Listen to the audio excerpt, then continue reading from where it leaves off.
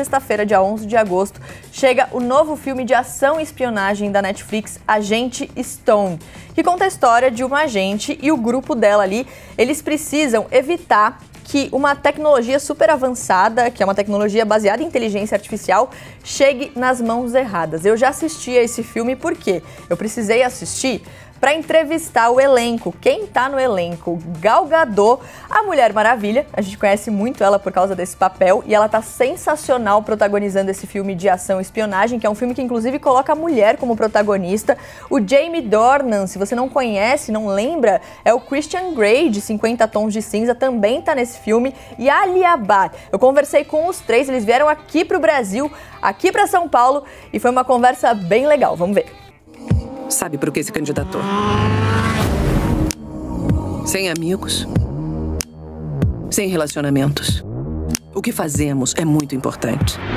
Quando os governos caem, só o que resta é a carta. I watched it and it was really impressive with the amount of action scenes, fighting, car chases, shootouts, jumping out of planes, blowing up buildings. What was it like for the three of you to do that? Was there any accident or something behind the scenes that's worth telling everyone? It was exhausting we were dirty and sweaty and like you know it was it was incredible you know the action in this film is just out of this world. We wanted to make sure that as much, as, as big as it gets, that it'll be grounded, um, that it's all made by people, most of it.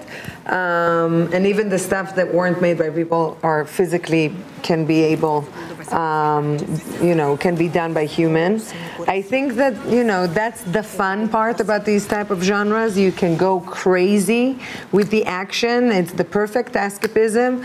Uh, and one of the things that were, was the most important for us was to flash out the, the, the relationship between the characters so you really care uh, and also understand each of the characters' point of view.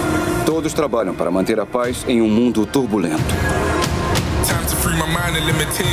Quantos na festa de boas-vindas? Seis ao todo.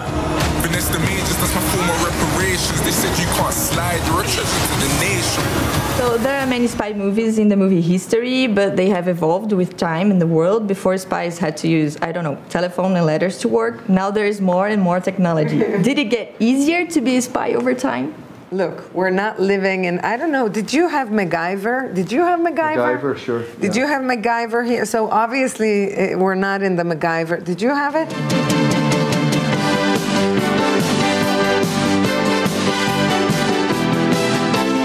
It's like a guy that used to, he could make an airplane out of like toothpick. It, toothpick. It was crazy. So obviously we're not there. It's much more advanced and progressed, and the technology is in, incredible. And funny enough, it's crazy to think, you know, the timing of the movie and the AI, you know, the ChatGPT conversation that's been going on uh, lately, it feels like it's very timely. Um, yeah, it's interesting to see how it's going to play it. Are you that good with technology? I'm, I'm not. I'm challenged. I'm very challenged with technology. Like I'm, I can I can do the basics like text an and email. yeah, and, and send an email and and like make phone Subscribe. calls. What about you, Jamie? No, I'm not great. No, my, my I mean, I've got my I have three kids, three girls, and they're um, like our nine-year-olds already sort of better. Like they're like, give me that, dad, I'll do Yeah. that, and they can use my phone better, better than I can. Quem tem o coração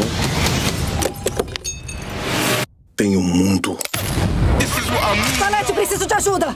There's a lot of AI at the center of the story, and I really like that they call it the heart.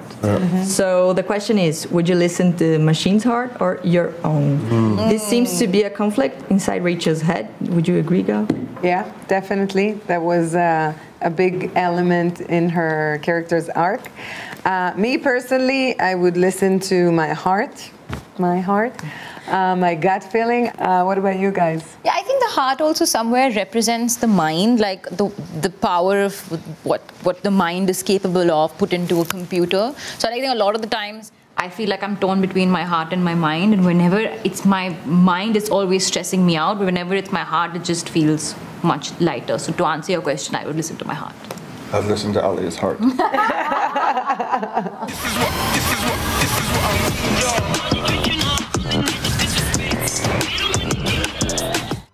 E você aí, hein? Escutaria o coração da máquina ou o seu próprio? É um conflito bem interessante nesse filme, vale super a pena assistir. E vou dizer para vocês, aqui nos bastidores eu fiquei bastante nervosa, já que a gente tá falando de coração, né? O meu coração bateu mais forte quando eu vi ali Gal Gadot, Jamie Dornan e a Ali Abad à minha frente, porque são atores e atrizes que a gente vê em Hollywood. E eu falei sobre isso na newsletter da CNN. Se você ainda não se inscreveu, não assinou, Olha aí, toda semana tem texto novo meu, do Felipe. E para assinar, para se inscrever, é só apontar a câmera do teu celular para o QR Code que apareceu aí na tela.